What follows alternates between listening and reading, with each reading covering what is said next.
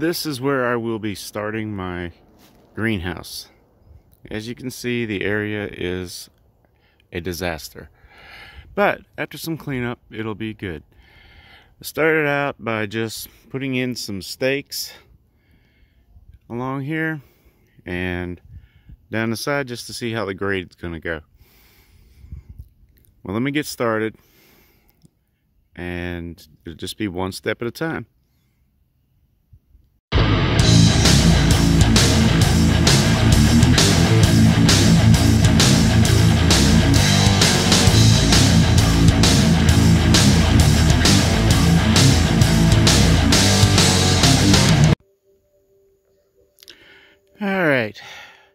Well, after weeks of work and my back killing me, the pad is finally leveled out. What we did was I took a laser level, which is self-leveling by Bosch. And everywhere where you see a flag, I set the level.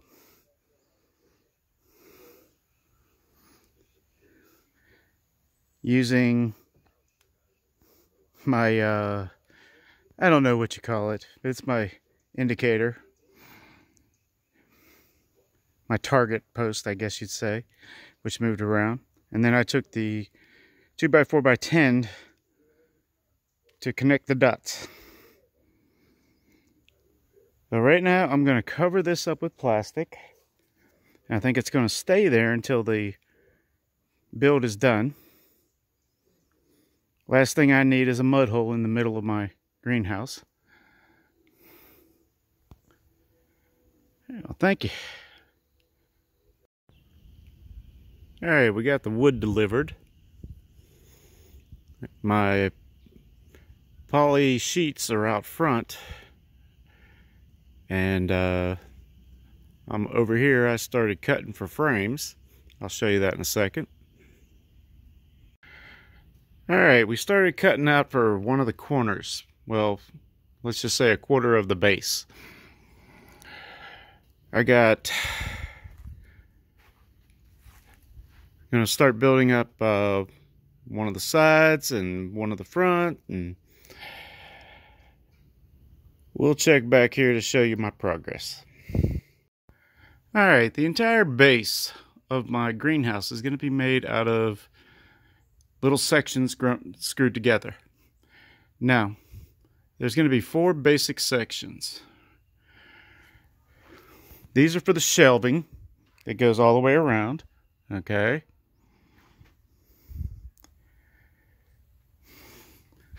These are for the side walls. And these are the end walls. It's actually going to be part of my doorway there too. Okay. Now, what we're going to do on these is I'm going to uh, post the dimensions of these sections for each. We'll call them A, B, C, and D. Okay? All right. Thanks.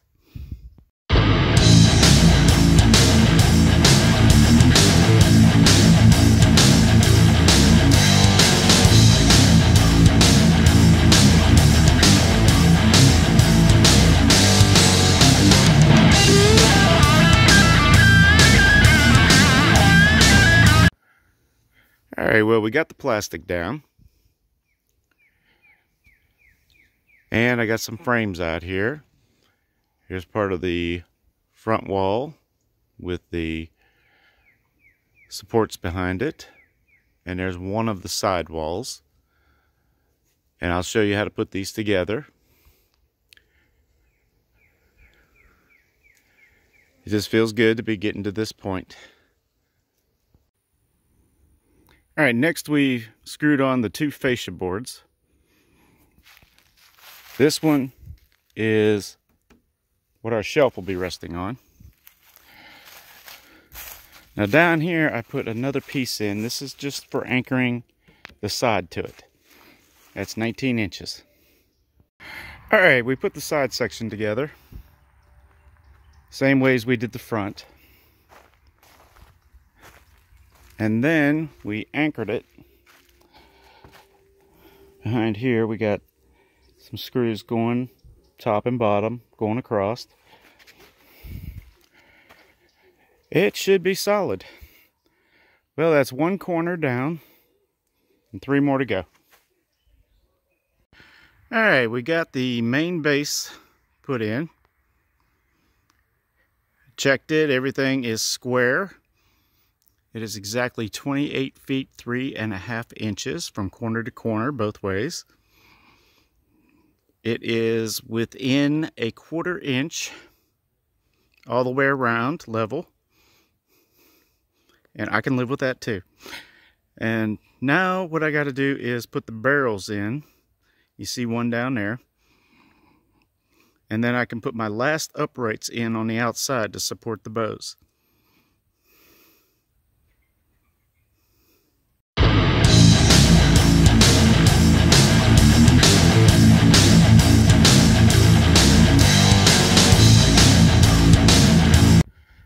All right, I got my barrels in place.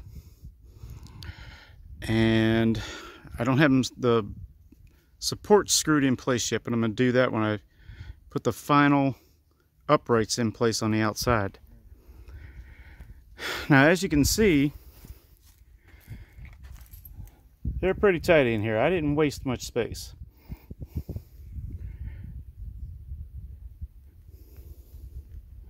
But now that they're in place, I can put my final uprights in.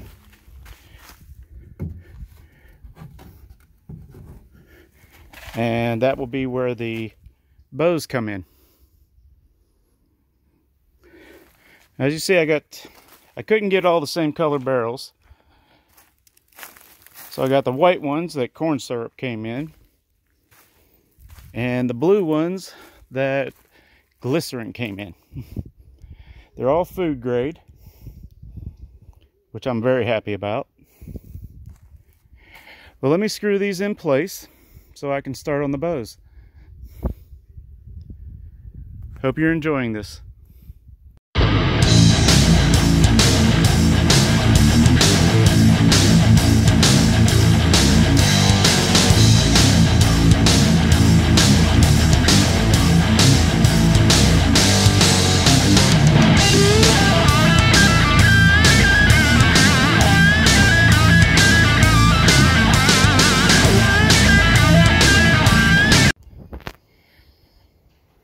This is my first bow made. Seems very sturdy. Now what I used was 16 foot 1x4s and split them down the middle. 6 inch blocks with 6 inch spacing going all the way up. Now I adjusted a little up towards the top because I'm going to have an 8 inch sheet covering from one side to the other. But for the most part, six inches in between, so a foot, two foot spacing is easily done. And then on my template, I marked where they went. At the bottom, since this is a 20 foot bow, right here's where it's going to be sitting on the 2x4s. These are the top two 2x4 plates that it's going to be sitting on. This is going to be the overhang in front. This is the overhang in the back. Okay. So what I'm going to do is on my framework, I'll have a complete 2x4 going from the header plate down to the base plate. That should give it more than enough strength and stability. Well, I will post this with a diagram. So if anybody wants to duplicate it. Now, this is up to you. Excuse me. But I did not glue these. Because of our humidity here, I was worried about blocks might needing replacing. So, I did not glue any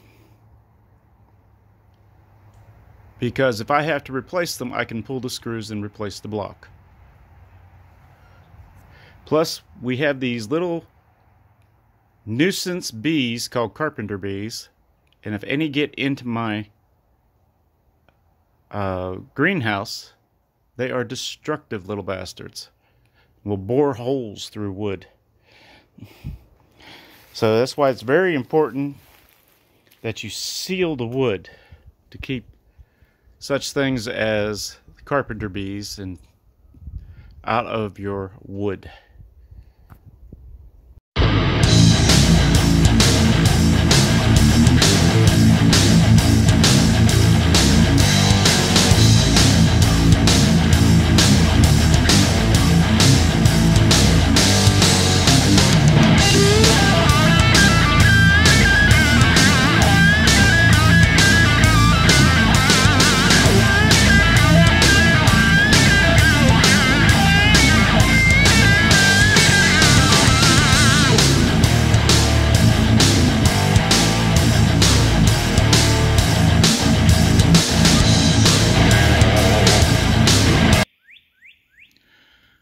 Alright, here is an update of my bow greenhouse, wooden bow greenhouse. I saw that my video that I made halfway through the roof had failed for some reason. Sorry about that. But let me give you a better look at this. Alright, here's the front with lattice work, basically. I think it'll give it a little more aesthetic appeal. And here's coming into it, looking up at the roof.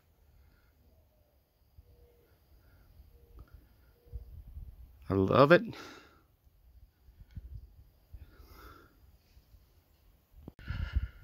I put in these cross members just because it's 20 feet across. We don't have a snow load but we do get wind loads. So I will be happy I put those in. Now what I do need to do is in between these I'm going to put blocks. Okay, make them kind of a ladder bar going across as well, girder. Now my 2x4s are attached. Where there's two going together, they're actually toe-nailed in up top to give them a better bite okay? That way you're joining this to this and then from there to here. So you're making a stronger joint right here.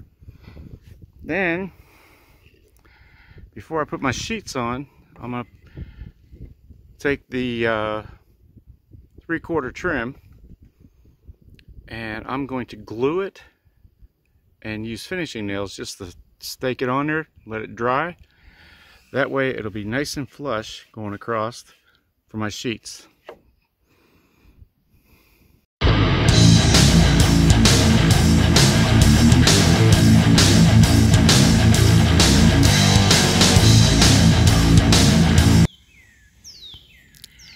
Alright, this is where I'm at right now. I've got the main frame all put together. I've got all the painting done, all the little wood pieces put in to level out the frames in between so that the sheeting can go on. Let me give you a closer a closer look and we'll go from there. All right, this is your view coming in. Got the barrels going around the bottom. I'll explain those. On my framework. Now there will be some additional supports put up top just as a security. I'm still not 100% sold that two feet is enough support for those sheets with the heat. I just don't want them warping. Now the barrels, some of them will just be used as thermal mass and weight. The reason for doing it this way is because building code says that if I dig into the ground and anchor it, I need a building permit. If it's just sitting on top of the ground, I don't need the building permit. but it's not going anywhere. There will be approximately 9,000 pounds of water. And it shouldn't go anywhere. Plus the weight of the frame and all. But some of these will be used for aquaponics and hydroponics. And something I look forward to. I've only done the aquaponics once on a small scale. I've done the hydroponics more intensively. But uh, before I fill these up, I got gaps at the bottom. I'm going to go around and fill it with a subsoil mix, which is uh, sandy clay mixed with cement so that once it hardens, it's not going anywhere. I want the whole frame supported, but that'll be in the next video.